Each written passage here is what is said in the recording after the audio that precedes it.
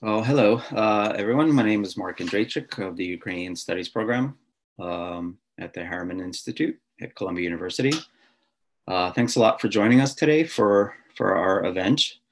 Um, just a quick technical note uh, on December 10th, which is just over two weeks from today, we will have an event. It'll be actually a book presentation of a new, wonderful new book of Ukrainian poet uh, Mykola Bazhan, uh, of his works in English translation, his poetry in English, uh, called Quiet Spiders of the Hidden Soul. And uh, we will have the editors and translators uh, speaking about that exciting book. So please join us. That'll be at noon on December 10th. Uh, today's event, as all our events, uh, will be broadcast simultaneously on Zoom and on YouTube. Um, I will introduce our speaker today, and then we'll have a chance to have a Q&A session. Please post your questions uh, in the chat area, and I will be able to pass them along to our speaker. Now, our speaker today uh, is not a stranger uh, to the Harriman Institute. Uh, we've had the pleasure of hosting her several times for um, where she's had presentations or taken part in, in conferences. Uh, so we're really, really excited that uh, she's joining us today to talk about a, a, very important topic that a lot of people have been thinking about in the last six months or so. Uh, and uh, the speaker is Valentyna Kharkhun. She's professor of Ukrainian literature and journalism department in Nizhyn Novgorod State University. She's author of two books, six textbooks, and more than 100 articles. Throughout her career, she has mainly worked on the relationship between ideology and culture, focusing on the following topics ideology in Ukrainian modernist writing, the arts under Soviet rule, the socialist realist canon in Ukrainian and Russian literatures, and the ideologies driving representations of the memory of communism in museums of Central and Eastern European countries. Currently, she is working on a book entitled Multifaceted Memory, exhibiting the Soviet era in Ukrainian museums. And today, uh, the focus of Dr. Kharkhun's talk is dealing with a contested past, monument wars in Ukraine and in the USA. So I invite you, Valentyna, passing along to you. Uh, hello, everybody. Uh, uh, thank you, uh, uh, Mark, for invitation and for chairing this event. Thank you, Carly, for technical support. Um, I'm pleased and honored to share my research on the platform of Columbia University. And having this opportunity, I would like to express my gratitude for having me as a Fulbright scholar uh, in 2011-2012. I remember this time with great appreciation and with nostalgia. And now let me uh, share my screen so I can start the presentation.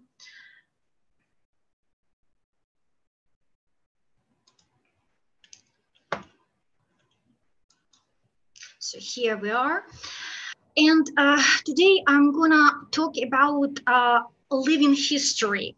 So I would like to begin with sharing my personal experiencing experience of witnessing two incredible events. So it was um, Saturday, February 22nd, 2004, uh, 2014, and I was returning from my home university where I had classes to teach and the bus I was approaching the main square so slowly. Then they finally approached the square. I could see uh, a crowd of people cheering and applauding uh, the moment then a Lenin monument was leaving its pedestal.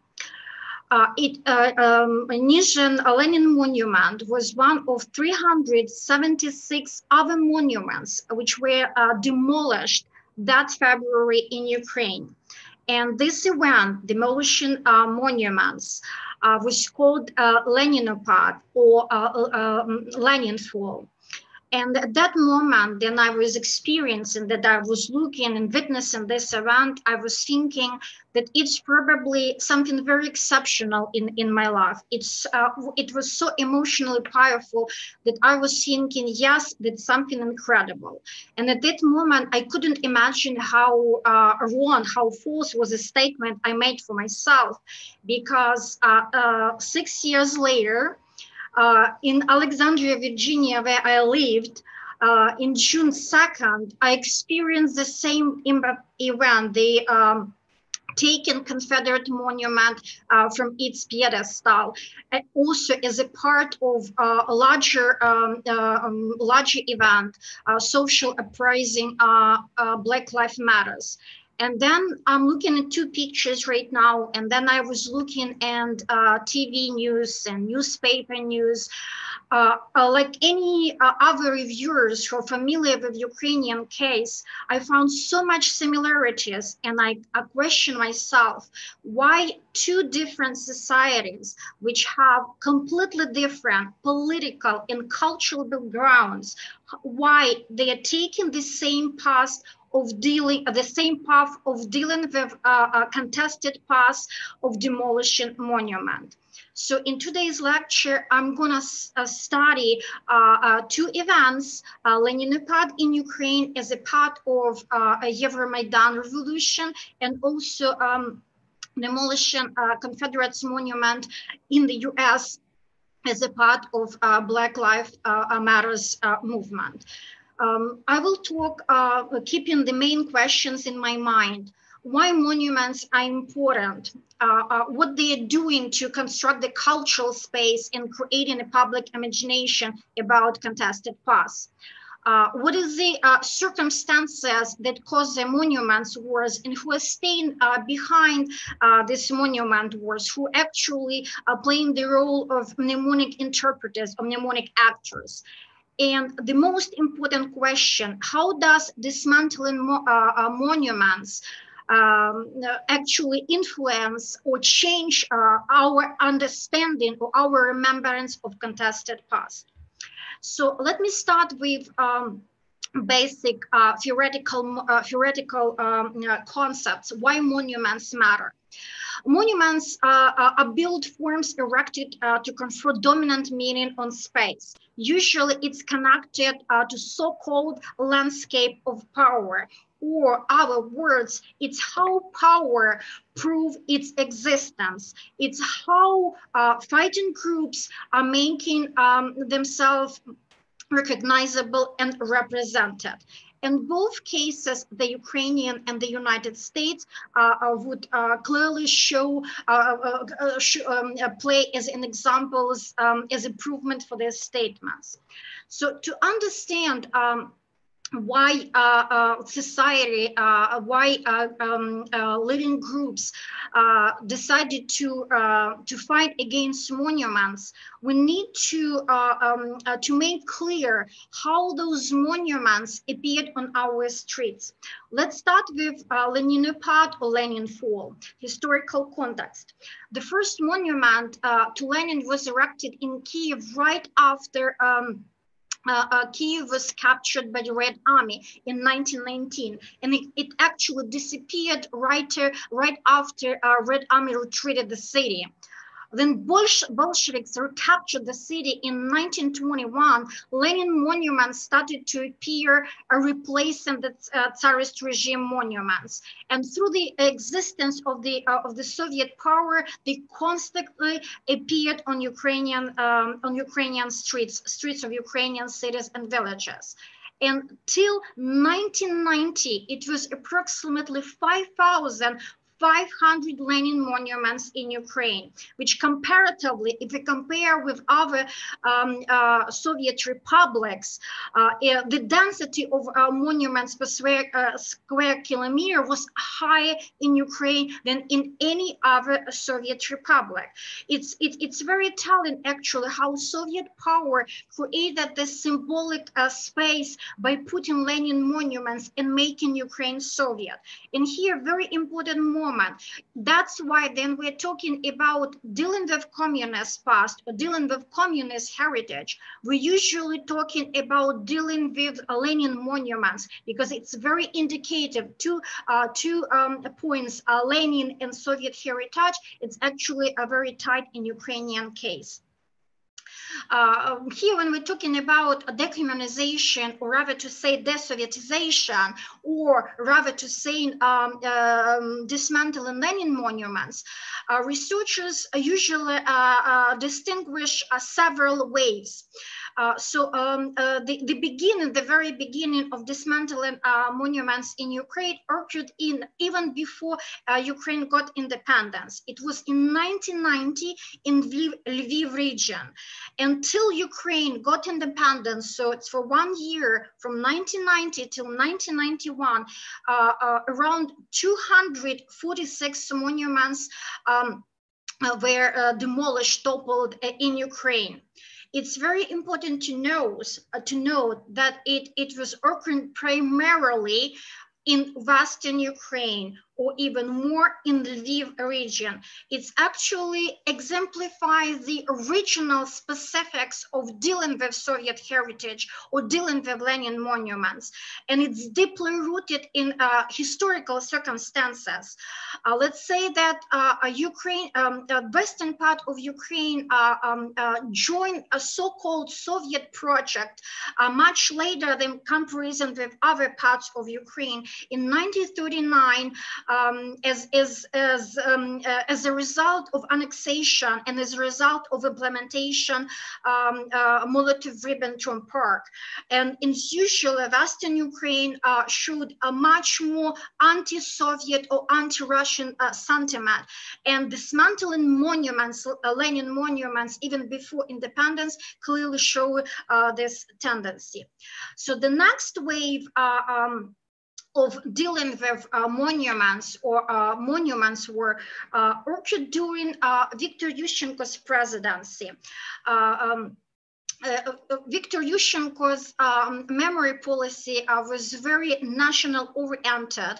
Uh, he put so much effort for the recognizing the Holodomor as genocide and also criminalize uh, communism. So during his presidency, a lot of monuments, not only Lenin monuments, but also monuments dedicated to other Soviet leaders were demolished and uh, the also the the uh, one of the way was occurring in 2013 usually uh, we are trying to interpret to put Leninopad in the framework of euromaidan or a revolution of dignity. But actually it happened a little bit before in two, the first part of 2013 then um, uh, ukrainian nationalist leaders and uh, local leaders they are going all around around Ukraine are vandalizing a Lenin monument. And actually the term or specific metaphor of Leninopad um, was created in the first part of uh, 2013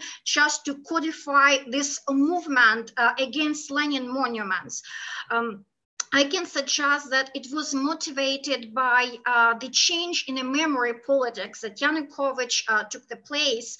Uh, he completely changed the memory policy um, and uh, started to show much more sentiment to, to Russia um, and, and, and, and, and, and uh, sympathy to the Soviet past. So this, uh, this attempt to demolish Lenin monuments in 2013 can be explained as um, is kind of opposition to ongoing uh, memory politics.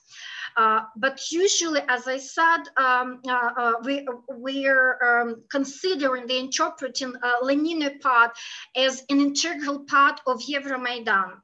Uh, Euromaidan Revolution uh, of Dignity started as a student protest against the decision of uh, um, then President Yanukovych um, actually his rejection not to sign a document um, uh, agreement with European Union.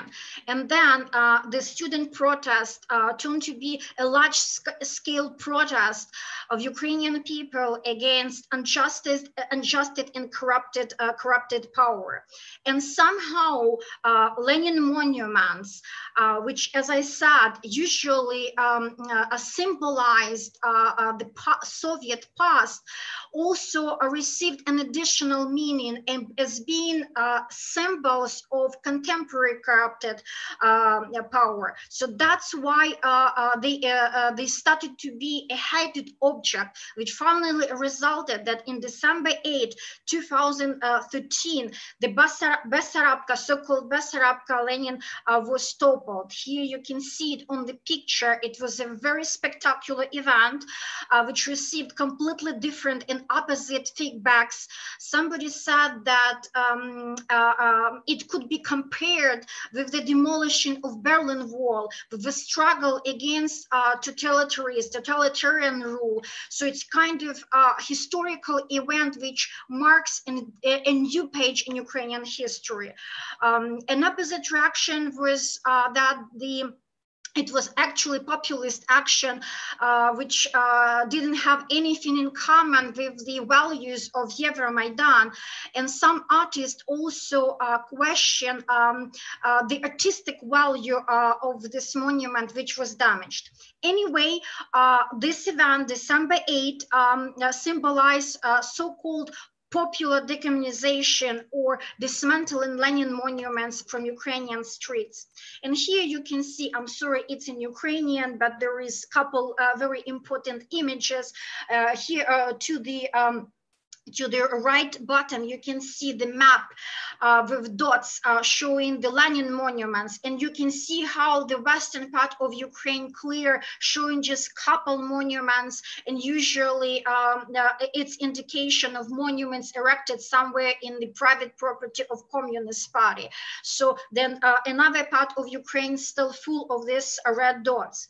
Uh, to the left, there is a, a, a different image of pedestal. It's actually the chronology of, of uh, um, toppling of Lenin monuments. And you can see that it peaked in February uh, 2014. I will return to this date. Then actually Lenin uh, uh monuments in a monument in Nizhyn uh, was stopped. Um, uh, it happened after the uh, um, unarmed uh, protesters in the center of Kiev uh, were killed. So we've got um, that phenomena, which now we call Heavenly Hundred. So the next uh, point uh, in uh, decommunization was happened in April uh, 2014. Then decommunization law, so-called decommunization law, were passed with substantial discussion um, and with the Institute of National Remembrance behind this approval of, of, these laws. Um, and one of the law um, was on condemning the communist and national socialist totalitarian regime and prohibiting the use of their symbols. This law stated for the first time in Ukrainian history that uh, Soviet regime is recognized as criminal. As a result, several changes happened. Uh, the first in, in the major event, change in toponyms you can see the turbulent uh, version of this change. It, it was happening uh, starting from November uh, 2015 uh, till July 2016. And, man, many people and also researchers, uh, as well as journalists, criticize this turbulent version of renaming uh, um, and actually how it was done. It, it, it was done in a very Soviet, Soviet Soviet manner of Russian and pushing, um, uh, some, sometimes violently pushing uh, uh, local authorities to make changes. As a result, more than 1,000 uh, toponyms, names of cities, uh, villages, and um, streets were name.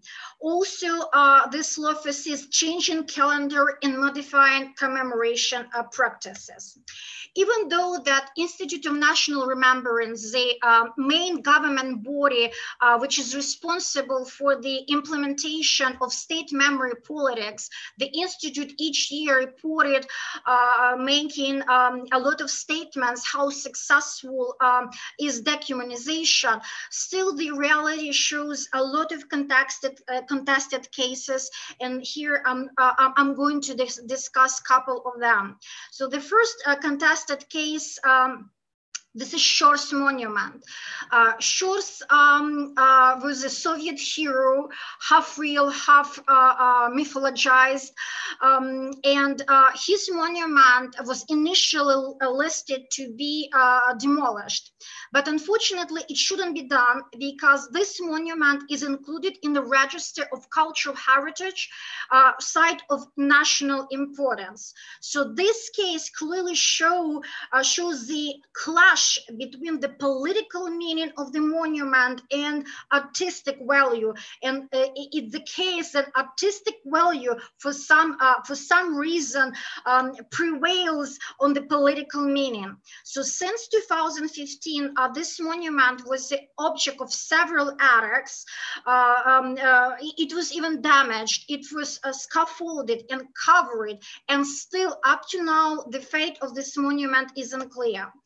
The, the, very similar situation with Vatutin moment, monument. Vatutin um, is a very controversial hero. So there is a collision hero, anti-hero. Um, uh, he was a military commander of uh, liberation of Kiev from Nazi occupation. And he's also responsible for incredible human uh, loss during this occupation. And he's also was a commander against um, uh, against um, nationalistic movement uh, uh, after war. Um, uh, so it, it's kind of a very controversial uh, figure and his uh, monument on the tomb is located not somewhere in the cemetery if some somebody can imagine, but right in the very center of Kiev in the Mariinsky Park next to Verkhovna Rada. This monument was also listed to be removed, but unfortunately and ironically, uh, this um, laws, uh, the communization laws uh, which were passed, actually now they are working against uh, uh, this action because this monument located on a tomb collision, uh, on, on, a tomb, so um, it's prohibited to be removed. Um, and also it can be removed because um, uh, uh, because he is a military uh, hero who uh, um, uh, who struggled against uh, Nazi occupation. And the last Ukrainian case I'm going to discuss it's a legendary Tachanka in Kakhovka, um, Kherson Oblast. Um, this this monument was erected to commemorate 50th anniversary of October Revolution, and actually very bloody. Um, uh, uh, uh, moment uh, in the struggle between uh, Bolsheviks and the White Army, and the victory of Bolsheviks uh, army opened the way to Crimea. They they they executed around twenty thousand people. Uh, so uh, this actually, uh, um, this monument is attached to very dramatic page of, of history. But for now, um, it's, it works much more primarily as a site for identifi of identification uh, Kakhovka. If you open um, uh, TripAdvisor, it would be listed as the first place uh, to visit just to identify what Kakhovka is. Uh, plus, um, uh, this monument recently received an additional meaning. Uh, as you see on the picture below, there is a huge covering. It says a bike uh, festivals. so bikers choose this site, which for them, um, uh, identify and not something something connected to the Soviet history or the dramatic Soviet uh, uh, Soviet history, but uh, but um, reflecting the the spirit of movement. So that's why this uh, this monument is so important for them and that's why they choose them for their governing. So this year, somebody uh, made a request to the Institute of National Remembrance about the status of this uh, of this monument, and um, Institute responded that yes, it should be decommunized, uh, which means it's need to be removed. Uh, then local authorities received this answer. Um, uh, they were shocked, and uh, they used kind of military vocabulary to say that they would struggle against this decision to remove this uh, monument till to the last moment because it's very important for city identification. It's very important for Kakhovka people. So this monument clear show the tension between uh, center authorities and local authorities in how they're uh, thinking about the uh, representation and about preserving of uh, contested Soviet monuments. It's actually, there is an idea and it was recently uh, discussed, uh, as far as I remember, the meeting was um, in March uh, between the representatives of um, Ukrainian Institute of National Remembrance and local authorities as well as with um, uh, people, they discuss the possibility to create uh, um, so-called park of, of totalitarian um, uh, monuments. But so far, uh, this idea still, um, still haven't been realized. Uh, so now let's go to uh, Blake, Blake Lives Matter. And when we're looking at um, uh, the uh, chronology of uh, Confederate monu uh, monuments erected, uh, we can distinguish uh, three main periods. the first one was right after the, um, the end of Civic War, and it was very little fanfare about Confederate heroes, so only around 100 monuments they erected. The boom of Confederate mon monuments started it's actually coincided, but uh, it, it, was not coincidence with the beginning of Jim Crow era, of the era of segregation. Uh, so the, the greatest uh, uh, amount of monuments, Confederate monuments, uh, were erected during this period, the end of 19th century and during the first two decades of the 20th century. And the next way, um, wave was occurring um, in 1950s, um, while civic right movements are there succeeding. And what is also a very interesting fact that since 2000s, around 25 monuments and symbols have been dedicated. So somebody would question, is it the fourth way and, and uh, what is motivated? Uh, what is the driving forces behind this decision to, um, uh, to establish and to erect 35 monuments while the society discussing the possibility or the necessity Confederate monuments uh, on the streets of American cities and villages.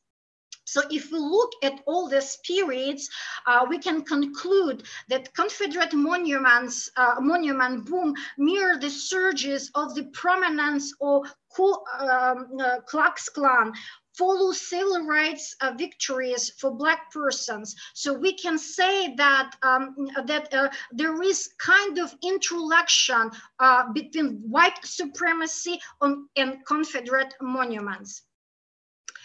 Uh, so uh, uh, till 2015, uh, it was a couple times that somebody questioned the um, uh, Confederate monuments, and only six of them they removed until 2015.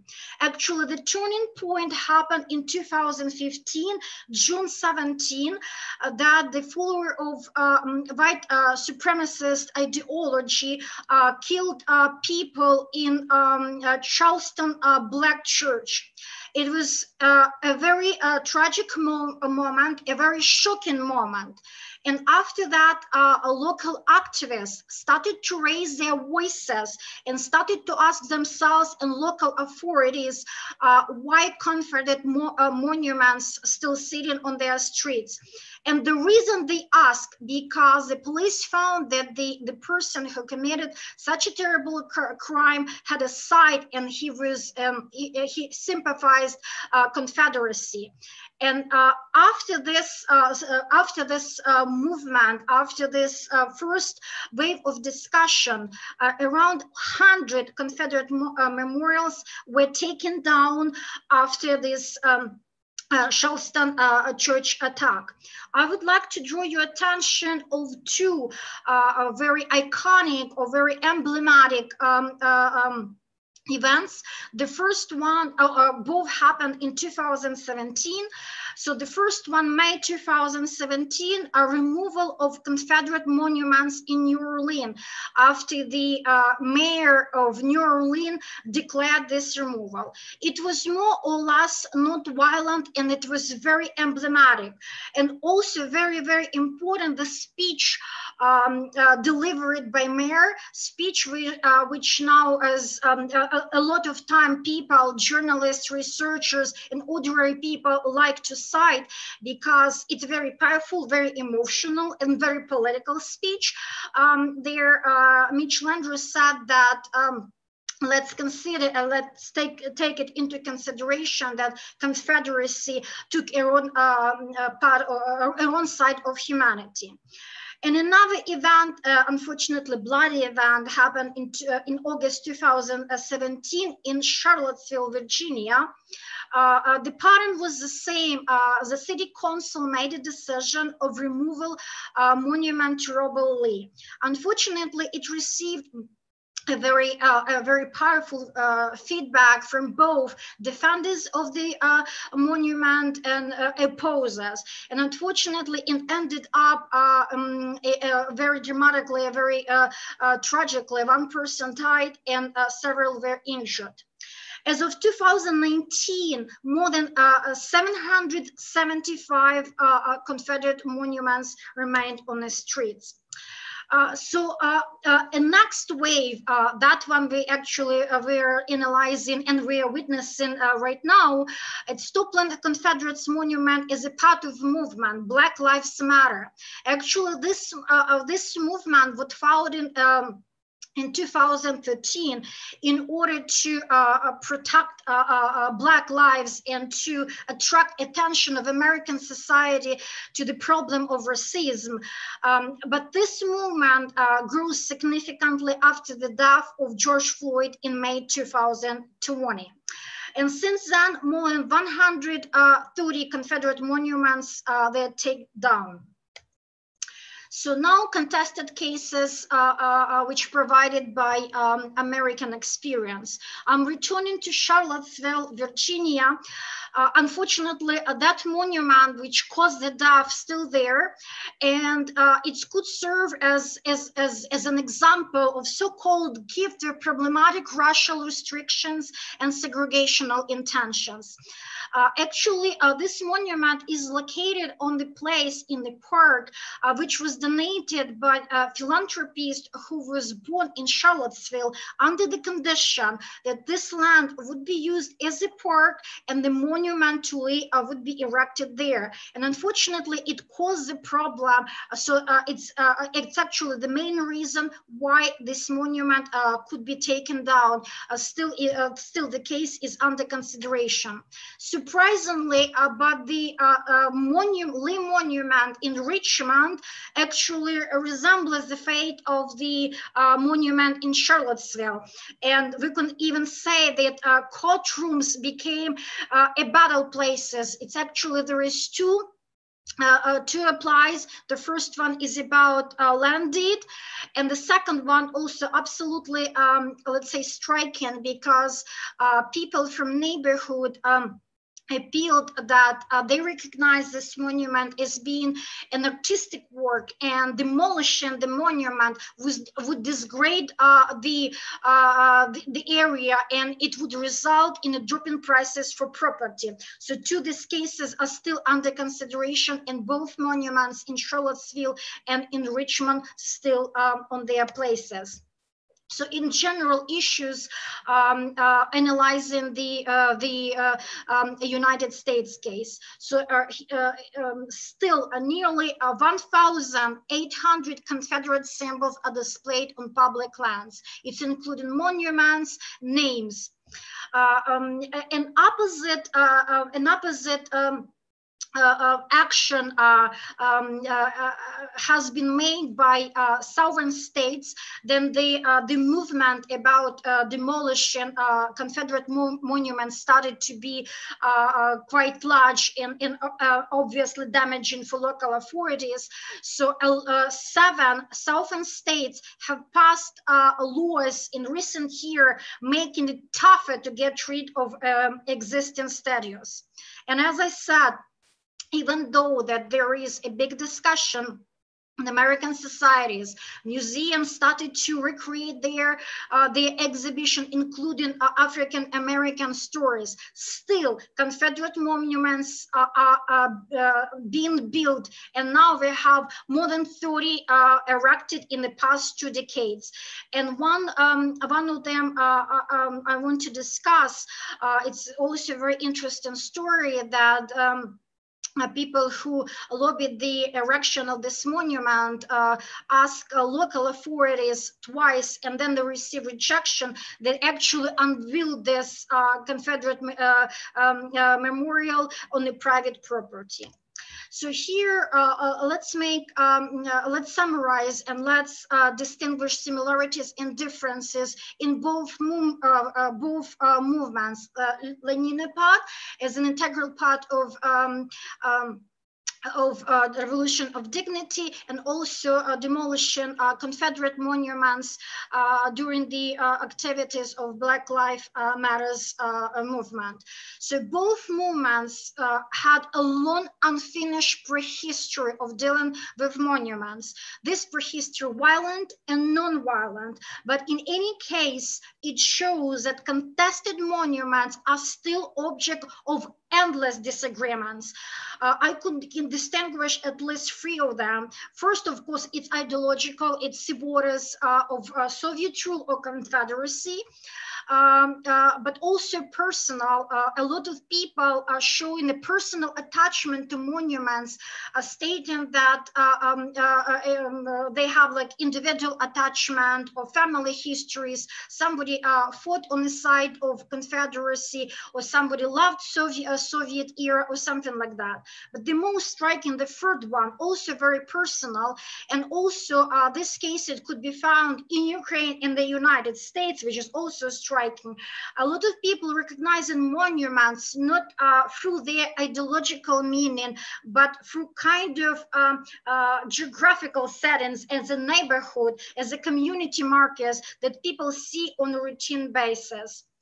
And also uh, this prehistory shows um, uh, uh, shows uh, uh how uh, even even the, the, the societies uh, has an agreement have an agreement of removing um, monuments how tough it should be because of of a large bureaucratic work. Just to provide you example i mentioned two cases at the very beginning of, of my lecture. This is Nizhyn case and and the case of, of alexandria. Actually in both cases the decision to remove monuments were made prior to the uh, to the uh, to the moment they've been removed. In Ukraine, it happened in 2011, but the monument was removed in 2014.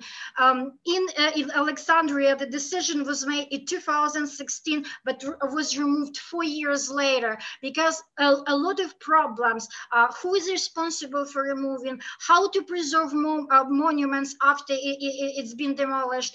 Um, so it's a lot of bureaucratic questions which usually uh, slows down or stop the uh, process of removing. So this is also um, one of the reasons um uh, which caused a the a monument a war during social movement or social uprising, then the monument started to be not the object, not the subject for debate, but, but for the terrible battle. I also would like to draw attention that essential power, uh, power of both monuments, both movements against monuments was derived from existential threat. Uh, for Heavenly Hundred or the uh, hundred people, they killed um, during a Euromaidan protest or after the death of George Floyd in, in the United States. And I would like to use the um, uh, um, Miroslava uh, Hartmond uh, statement, uh, actually the, the, the, the, characteristic of uh, uh or Lenin fall, which can be uh, used uh, to characterize um, um, Confederate statues removal also. Lenin fall is catharsis, a collective, ecstatic, performative action that seeks to rewrite Ukraine's national narrative free from the stakes of history. And here, let's look at differences. The first one is um, uh, political geography. Uh, Leninopad uh, uh, was so far uh, the final action that uh, East European country was dealing with with communist past for demolishing monuments and for criminalizing commun criminalizing communism while um, uh, uh, Black Lives Matters went beyond the USA and included the Western world, primarily United Kingdom. And here I would like to draw attention on the case um, with the statue of Edward Colston in Bristol and also in Australia. Um, uh, in in the uh, um, uh, in the city of Perth, um, local authorities decided to attach bronze acrylic park also, um, while uh, um, Ukrainian movement was single focused primarily on the Soviet figures and primarily on Lenin monuments, uh, Black Lives Matters uh, went far beyond racism. So it started as a fight against racism um, against uh, uh, uh, African American in the United States, but went in turn to be a movement against any injustice regarding white supremacy. So that's why we've got uh, a whole range of um, uh, monuments as an object uh, uh, of attacks, such as Confederate generals, English slave trades, European monarchs, world explorers such as Columbus.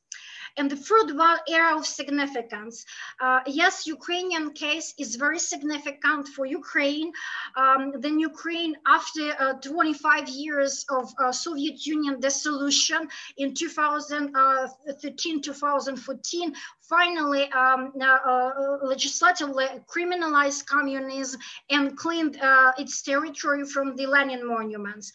And it's also very important in East European um, scale, especially for the countries, uh, post um, uh, socialist countries, uh, which are members of European Union, in which are trying to make memory uh, about um, um, about communist crimes, um, a cosmopolitical memory. Uh, what about the USA and the the the movement Black Lives Matters? Apparently, it's geographically um, and politically not focused primarily already on the uh, USA, but on the Western world. Somebody said that uh, uh, movement it's the beginning but not the end. Actually it's not even the beginning but definitely i would agree this is uh, this is not the end. This is the beginning this is an opening at least four major questions. Some of them are more important some less important but still uh, they're clearly showing or clearly attached to the question uh, how to deal with the heritage. So what to do with demolished monuments? How how to use places after the monuments has been uh, demolished, what to do with another legacy associated with difficult past. It's the most important and the most indica uh, indicative for me. Does dismantle monuments I mean a radical change in society understanding of common past? Here, I will uh, quickly trying to go through all these uh, questions and we'll proceed to the summary. Uh, so there is uh, several different approaches of dealing with the demolished monuments. The first one is neglecting or perceiving Lenin monuments uh, as a garbage of history. The next one is preserving uh, monuments and perceiving uh, this heritage as a testimony of history. Um, some collectors uh, um, uh, prefer to preserve these monuments. And here on the picture, you can see Mykola Nesterenko and the object of his uh, collection or the object of how he calls it family museum, Lenin monument I was visiting his place, and then I asked uh, why he's doing that. He said that it, uh, it's his own opposition to the policy of state, which is uh, portraying, constantly portraying Soviet past as being uh, victimized, as being uh, uh occupation, and he's protesting against uh, the state um, narrative about Soviet past and want to preserve Soviet heritage. Then I asked if he wants to uh, so Soviet Union to return. He said, no, I'm just fighting for my understanding of history so we can can say that this case can show the uh, uh, controversies between individual and collective or state perception of the Soviet past. Uh, another approach is commodifying or uh, utilizing or selling uh, Lenin monuments. Um, it's been already several examples how uh, uh, Lenin monument was melted and recreated as being, for example, Lviv monument was recreated, was melted and they made a monument to victims of communist communist crimes. In another very interesting case, I will just mention it and, and, and, and go forward. It's buying and replacing Lenin in Seattle. Unfortunately, it's a very unique and an interesting story, um, but I'm going to skip it saying that there is Lenin in Seattle. Why it is, it's a question. Um, in next approach, exhibiting and commodifying, there is um, uh, at least uh, um, uh, six uh, museums, so-called uh, parks of uh, of totalitarian of totalitarian um, monuments. Three of them actually allocated in Ukraine, and one on Sumy Oblast, part of the Soviet period, was just recently opened. Um, all these museums, the management saying that the main purpose of these museums to learn history and to condemn the communist uh, regime. Let's look at this museums. Uh, there's six different pictures. Probably you, you can recognize uh, a picture on the uh, right bottom. This is Andivote Museum. So any, any others, they are very, very similar. This is the same pattern then in the open air, somebody collected um, monuments uh, uh, from the Soviet past. And actually, this genre of uh, uh, uh, museumification of the Soviet past is highly criticized because this genre clearly shows that uh, even if we are replacing this monument, they still have uh, meanings. And if we are not contextualizing the meaning of these monuments, they actually producing the same narrative as they did uh, um, during Soviet times. Um, American case still uh, it's still in progress, but we can uh, we, we, can say that uh, uh, Confederate monuments are preserving at cemeteries or historical societies or museums. So what to do with pedestal? This is a very important question because we're not talking only about replacing, we're talking about the creation of new canon, of canon of new heroes. Uh, in the United States, it was a couple ideas to replace Confederate monuments, but uh, to monuments uh, commemorating victims of racial injustice. In Ukraine, in Kiev, it was idea to replace uh, Kiev uh, Bessarabka Lenin by religious or historical figures, but it's never been uh, accomplished. Um, another tendency just to avoid the uh, national representation. So instead of um, uh, political meaning of the place, just to empty the place, it's, it's how it's done in Nizhyn. So there's no monument, no pedestal, just an empty, an empty space. Or um, instead of uh, political meaning, put an artistic meaning as it was done in Kiev. You can see several number of uh, um, artistic performances, which was um, occurred on the place that the Lenin monument was staying. Uh, what to do with, uh, with the another legacy? I already discussed the Ukrainian case uh, of renaming. Um, eventually, I believe that the United States uh, will also face this path.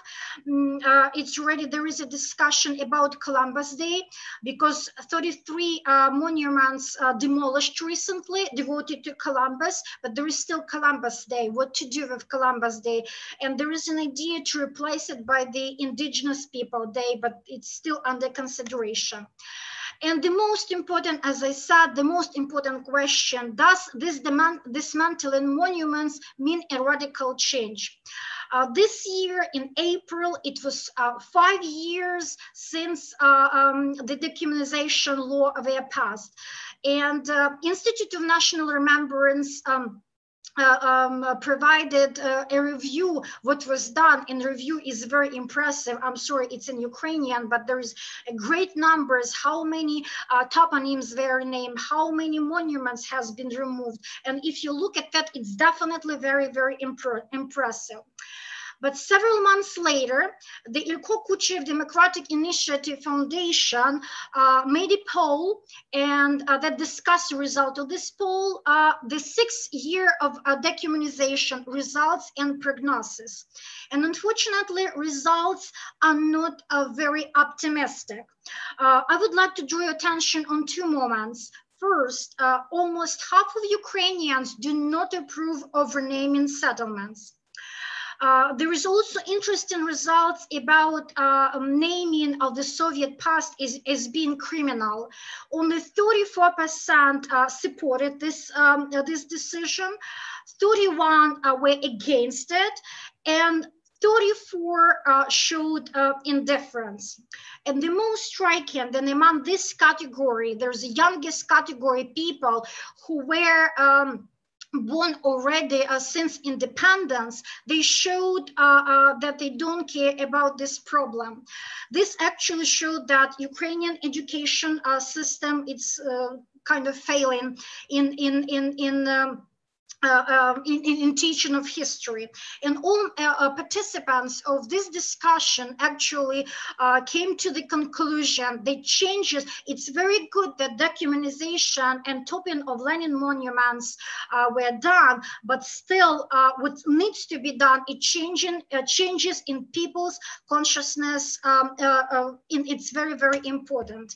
In conclusion, uh, both cases, uh, the Ukrainian one and the uh, United States, the Leninopad and the um, um dismantling Confederate, dismantling Confederates uh, monument as a, in the context of Black Lives Matters, they both actualize a very important question, rewriting or rewriting history. They actually make this question uh, very visible, very important. They problematize this question, but apparently uh, uh both uh, both events didn't um, uh, didn't result in uh, didn't came to any result. And apparently they both symbolizing that it's still a lot of memory work should be done. Thank you. Thank you very much, Valentyna. Obviously, like we saw from your introduction, uh, your personal life uh, renders you quite qualified to to to uh, speak about this, but also all your work working with uh, museums of communism in Central and Eastern Europe. So thank you for a lot of a lot of interesting ideas and things to consider as what's been done and what needs to be done. Um, we do some questions, but I'll start with the question I have. You mentioned uh, international dimension, and uh, certainly you showed a lot of similarities between the cases in Ukraine and in the US uh, in dealing with these troublesome monuments. But one thing I can't help thinking about is, um, you know, if citizens in the US um, and their representatives in government uh, want to remove a monument that's just unacceptable today, um, I don't really think any other country would really interfere in that, would care where in you so it's an internal kind of U.S. matter, even though you mentioned about uh, other countries, uh, but it's mostly an internal matter. Where in Ukraine, uh, these monuments, these Soviet monuments, have an additional meaning. I think uh, that uh, Ukraine's neighbor Russia uh, would would not be very happy with the removal of, of some of these. So but of course, since you've had this war with Russia between Russia and Ukraine, attitudes towards the Russian government in Ukraine and Russia have gotten uh, a little bit more negative. So my question to you is, uh, do these uh, do people who resist the removal of Soviet monuments of, of, troublesome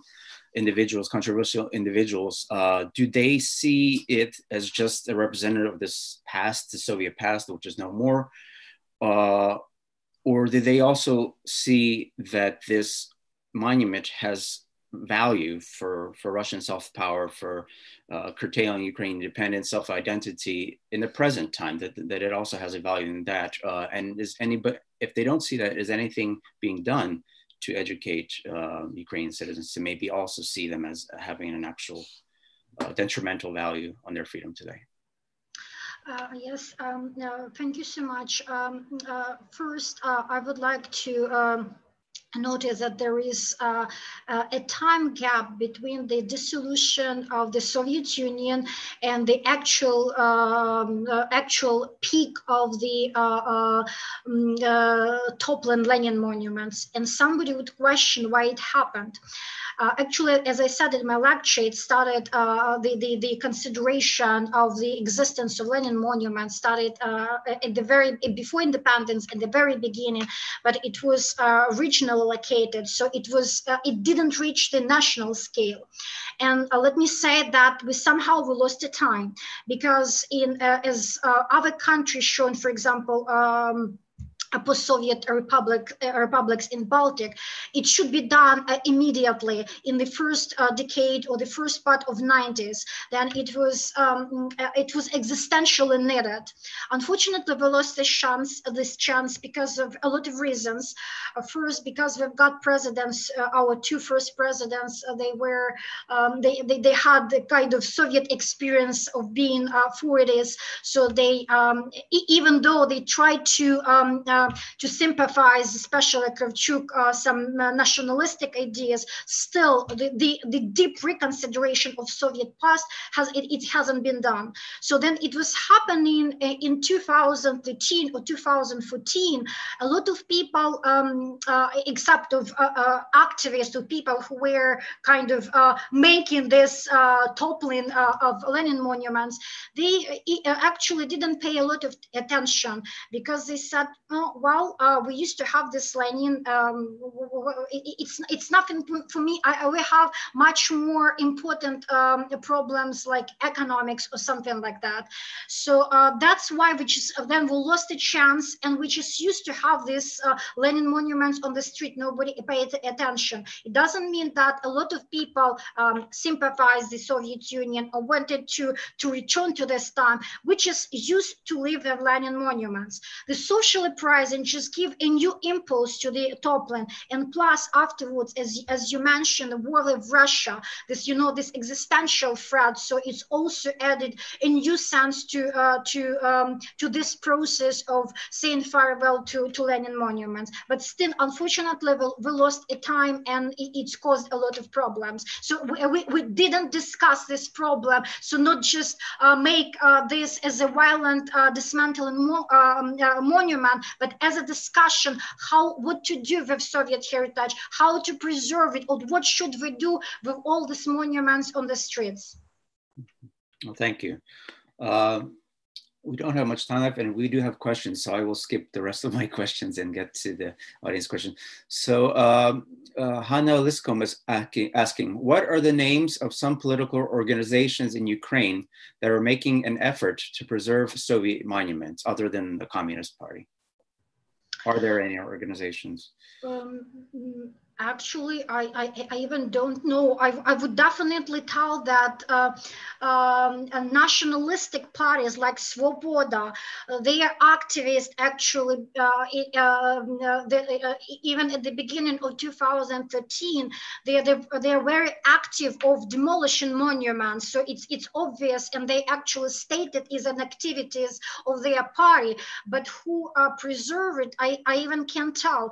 But definitely there is somebody behind it because as a, uh, as a result, as an opposition, as um, as a response to this demolition Lenin monuments in the eastern part of Ukraine, monuments dedicated to Ukrainian nationalists in Western Ukraine were vandalized. So apparently there is a group, maybe extremist group, uh, who were interested to do this kind of action, but they not recognized and they not publicized it as their action. So I couldn't tell.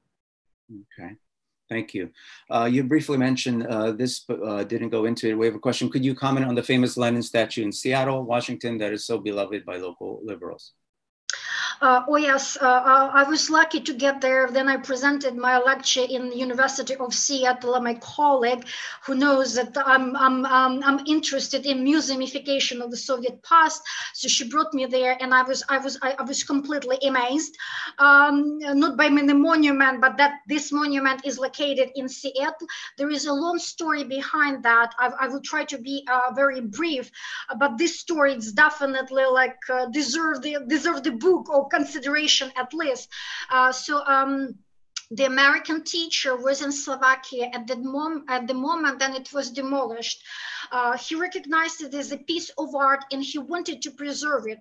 So he went through the very long bureaucratic work just to get the permission to buy it, then to transfer from Slovakia to um, to Seattle. It's a long it's a long way and it's very very heavy. So his initial intention was to put it in front of his restaurants. Uh, um, Slovak uh, cuisine just to attract tourists. But unfortunately, he died in in, in a car uh, crash, and um, uh, his family uh, couldn't realize what to do. So they put it on display to be uh, to be sold, but nobody bought it up to now, and it, became like the the tourist object, a tourist attraction. Um, it's very contested. Actually, it's somebody said that this place is um, for artistic freedom. Uh, this monument doesn't provide any uh, any political meaning. Uh, the Soviet Union and the communism is crushed, so uh, it's it's only it's only um, uh, it's, it has only artistic value. But somebody during this. Um, movement Black Lives Matters questioned the existence of this monument in Seattle. And somebody said very interesting um, sentence for me. He said, if we compare uh, what, uh, uh, what, crimes uh, was committed by Lenin or caused by Lenin and that uh, which was done by Lee, so this monument should be demolished first before the, uh, the Lee monument also disappear from our streets. Hmm. Very interesting. Noah Weinbaum asks, being that many of these monuments are privately funded or on private lands, are there any loopholes that can be implemented to overstep those who support the public display of these monuments?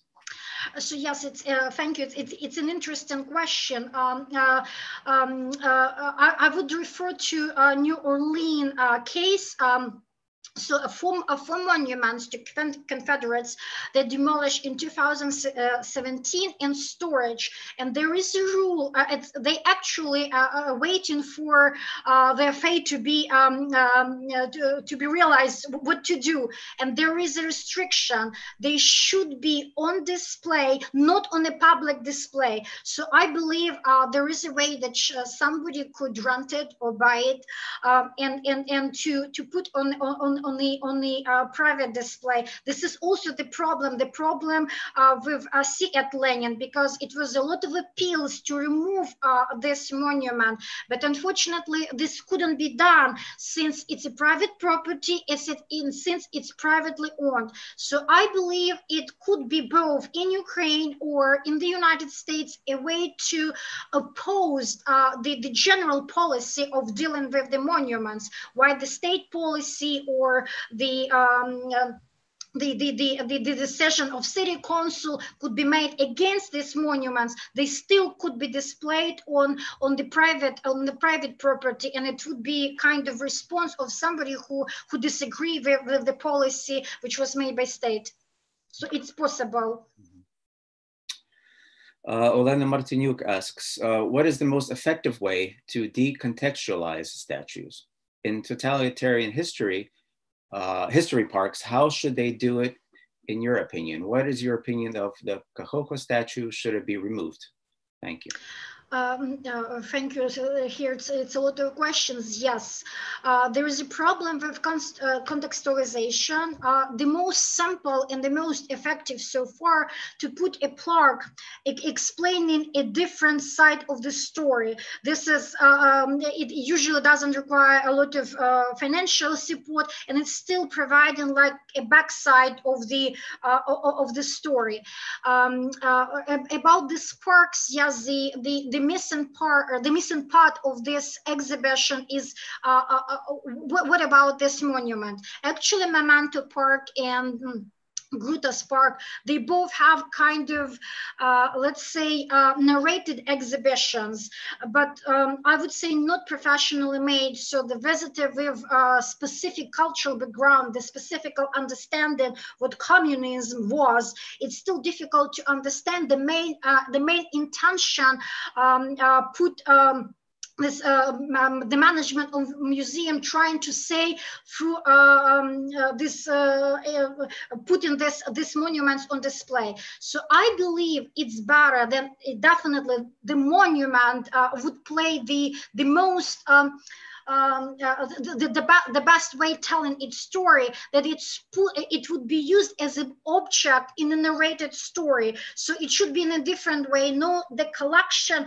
of a huge amount of monuments which looks like a storage or warehouse or something like that but use couple monuments in a, in a narrated story as as as actually as visualization how how art have been used to make propaganda or something like that. So in this this case, these monuments uh, would prove how ideology worked, how ideology used our art, and, and what who, who was as these figures. Otherwise, uh, in this uh, in this, these parks, they are kind of. Um, uh, I look at the visitors; they're wondering who they are, uh, what should they, uh, what they should should these all monuments say, and, and it's very distracting actually and about about and the last question about the chanka is it's it's difficult to say. Apparently it would be a problem uh, of removing since it's a very large uh, monument.